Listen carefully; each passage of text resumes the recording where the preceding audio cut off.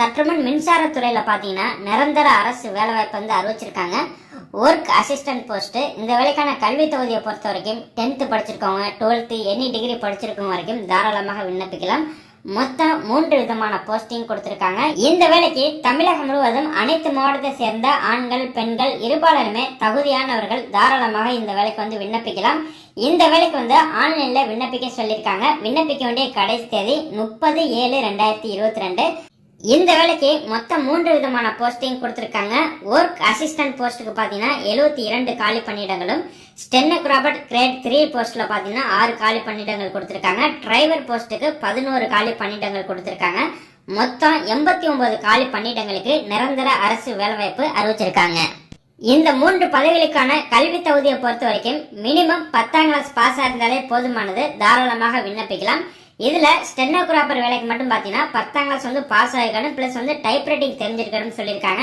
Typewriting speed பாத்தீங்கன்னா ஒரு மினிட்ல வந்து eight words and thirty words வந்து பர் மினிட் ஆப்ஷன் கொடுத்திருக்காங்க. இந்த வேலைக்கான வயது வரம்பு விவரங்களை தற்போது காணலாம். இதுல யூஆர் கேட்டகரிங்கிறது பாத்தீங்கன்னா வந்து பொதுப்பிரிவு. இதுல பொதுப்பிரிவினருக்கு பதினெட்டு வயது முதல் இருபத்தி ஏழு வயது வரை உள்ளவங்க விண்ணப்பிக்கலாம். ஓபிசி சர்டிஃபிகேட் வச்சிருக்கவங்க ஓபிசி பிரிவில் வந்து பதினெட்டு வயது முதல் முப்பது வயது வரை உள்ளவங்க விண்ணப்பிக்கலாம். எஸ்சி எஸ்டி பிரிவினர் மினிமம் பதினெட்டு வயது முதல் மேக்சிமம் வந்து முப்பத்தி இரண்டு வயது வரை உள்ளவங்க அப்ளை பண்ணிக்கலாம். மேலும் கூடுதலாக பார்த்தீங்கன்னா ஏஜ் ரிலாக்ஸேஷன் வந்து எஸ்சி எஸ்டி பிரிவினருக்கு வந்து ஃபைவ் இயர்ஸ் கொடுத்துருக்காங்க. ஓபிசி பிரிவினருக்கு வந்து த்ரீ இயர்ஸ் கொடுத்துருக்காங்க.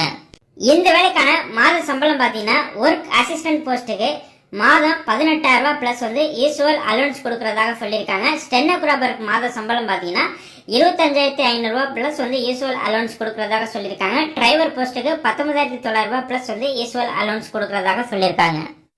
இந்த வேலைகளுக்கு விண்ணப்பிக்கிறதுக்கு அப்ளிகேஷன் ஃபீஸ் கொடுத்துருக்காங்க. இதில் யாருக்கு ஃபீஸ் கிடையாதுன்னு பார்த்தீங்கன்னா அனைத்து கம்யூனிட்டி பிரிவை சேர்ந்த பெண்களுக்கு எந்த ஒரு கட்டணம் கிடையாது. இன சுழற்சியில் பார்த்தீங்கன்னா எஸ்டி பிரிவினர் எஸ்சி பிரிவினர் மற்றும் எக்ஸர்விஸ்மெண்ட் பிடபிள்யூடி இவங்களுக்கும் எந்த ஒரு கட்டணம் கிடையாது. இது தவிர்த்து பொதுப்பிரிவு ஓபிசி பிரிவினர் பார்த்தீங்கன்னா நூறு ரூபாய் அப்ளிகேஷன் ஃபீஸ் கட்டி இந்த வேலைக்கு விண்ணப்பிக்க சொல்லியிருக்காங்க. இந்த வேலைக்கான நோட்டிபிகேஷன் லிங்க் மற்றும் ஆன்லைனில் அப்ளை பண்ணுற லிங்க் இந்த வீடியோ டிஸ்கிரிப்ஷனில் லிங்க் கொடுத்துருக்கேன். செக் பண்ணிக்கோங்க.